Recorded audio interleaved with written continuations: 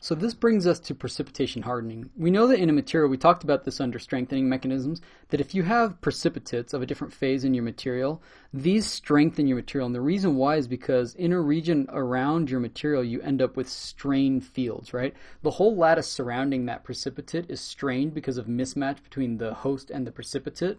And therefore, if you've got a dislocation that's traveling through your material, it's going to travel and it's going to get um, it's going to interact with these strain fields, and oftentimes they park near them, right? And if the dislocation can't move because it's uh, wants to, it's pinned by this precipitate, um, or if it can't travel through it, in either case, you've made it harder for the dislocation to move, so you've strengthened your material, right? So now the question is, okay, we know the mechanism by which it works, but how do these things grow over time? Um, if this is your material right now, it might be super saturated with, let's say you've got um, aluminum with copper in it. And right now, the aluminum and copper are just mixed uniformly throughout. But that's up here as a liquid. When you start to cool it down, eventually you end up in this region. So from here to here, you end up with a complete solid solution. So the copper is dissolved in with your aluminum everywhere. So you would have grains everywhere, just like this. Okay and the copper and the aluminum are mixed in, uniformly.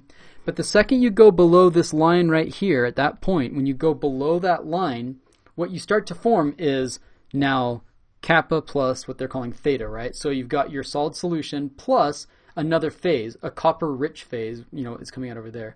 So if you held this for a really long time at a high temperature, we know that it would want to form where would the theta phase form? It's going to want to form along the grain boundaries, right? Because that's the, the highest energy spot in the crystal. So it's going to want to replace that high energy spot in the crystal with this new phase, right? Because if you're going to form a surface, you might as well get rid of an old surface.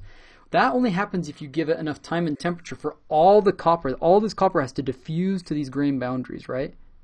So what if this happens at a low temperature or for a short time?